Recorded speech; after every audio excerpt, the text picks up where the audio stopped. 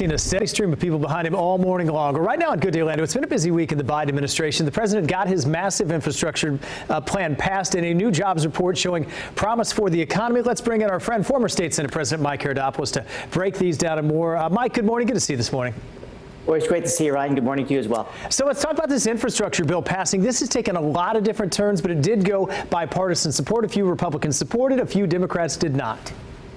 Well, one great way to unify the Democrats is to get their butts kicked in New Jersey and in Virginia. Uh, they they saw the light. They recognize that when they internally fight like they have for the last 10 months, that it's a losing proposition. And so, to the credit of the Democrats, they finally came together and passed this bill, 1.2 trillion dollars in spending over the next 10 years on roads and bridges, which make up about 10% of the traditional infrastructure bill, and a lot of the money we spend on other things like public transit, airports airports, ports, railroads, uh, road safety, and a lot of money also spent on what we call the Green New Deal. This means diversifying our power outage uh, production, et cetera. And so it was a big win for the president. He needed one desperately because, as you and I are sitting in the approval ratings right now, he's in the low 40s, high 30s as far as approval because of the difficulty he's had throughout the year.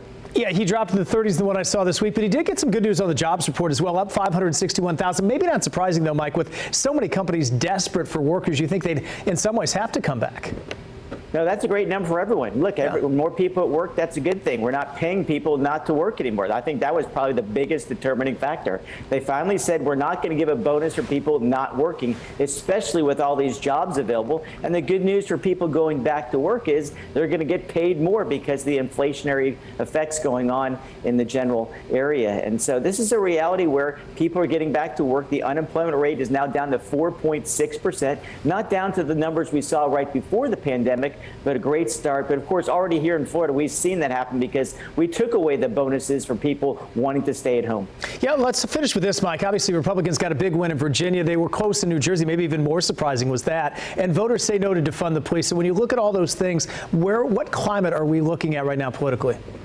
Well, this looks exactly like 2009, 2010. If you recall, that was Barack Obama's first year in office. He had these big spending, big government plans, and the, and the United States citizens said, no way.